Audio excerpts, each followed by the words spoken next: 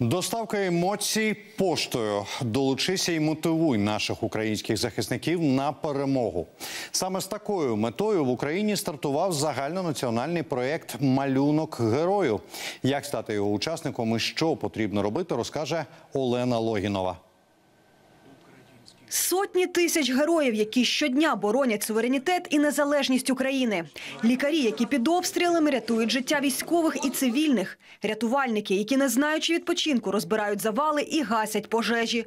І їм всім так потрібна наша підтримка.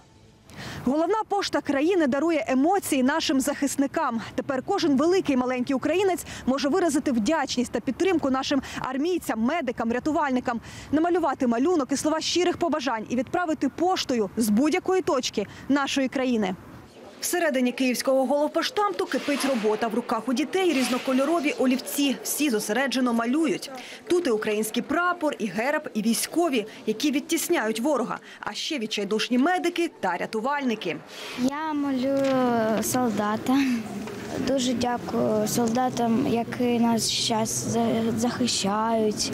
Я рисую пожежників ДСНС. Це е, будинок, куди прилетіла ракета, і пожежники тушать його. І підтримують дітей їхні батьки.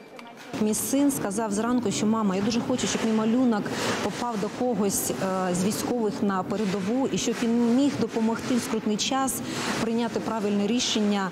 А організувала такий загальнонаціональний проект Малюнок герою Укрпошта разом із благодійниками та волонтерами. Вважаючи такі класичні поштові листи з малюнками і побажаннями, це живі емоції дітей, які немов паливо мотивують наших героїв на боротьбу.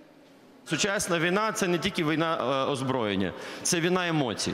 Наші загарбники не мають цих емоцій, бо вони не знають, що вони забули на нашій країні. А наші військові, наші лікарі, наші е, працівники ДСНС вони захищають нашу країну. І тому цей проект це про підтримку і про доставку тих емоцій, які безумовно допоможуть їм перемагати. Нам всі хлопці казали, що нам потрібні дитячі малюнки. Почали розповідати історії, розказувати, як вони в боях діставали ті малюнки з бронежилету, на нього дивилися і розуміли, що вони е, воюють за майбутнє України.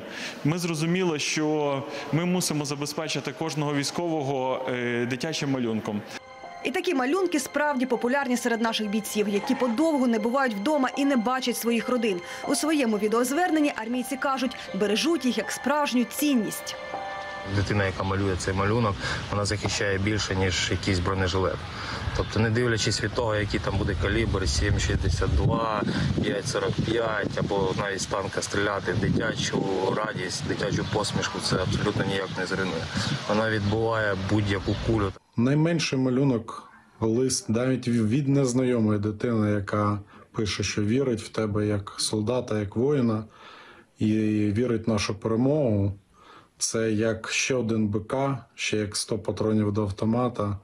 Це як енергетик, який каже: там піднімись, забудь про будь-які роздуми, бо ці всі маленькі діти чекають, що ти їх захистиш. Було дуже багато речей, які нам передавали волонтери. От е, але насправді найбільш найбільше зігрівало душу, найбільше мотивувало, коли ставало страшно, коли не було сил воювати, коли забував за що ти воюєш, адже в бою і таке трапляється. Найбільше всього мотивували саме дитячі малюнки. А ми, як воїни, як тоді, так і зараз зберігаємо їх в своїх бронежилетах. І в потрібний момент завжди можемо дістати і отримати цю енергію. Дати таку підтримку нашим захисникам може кожен бажаючий. Треба прийти до будь-якого відділення Укрпошти у вашому населеному пункті, придбати конверт, марку та надіслати малюнок з побажанням на адресу головпоштамту у Києві. Вказати, кому саме надсилаєте – воїну, лікарю чи рятувальнику. Олена Логінова, Василь Міновщиков, Подробиці, телеканал Інтер, Марафон. Єдині новини.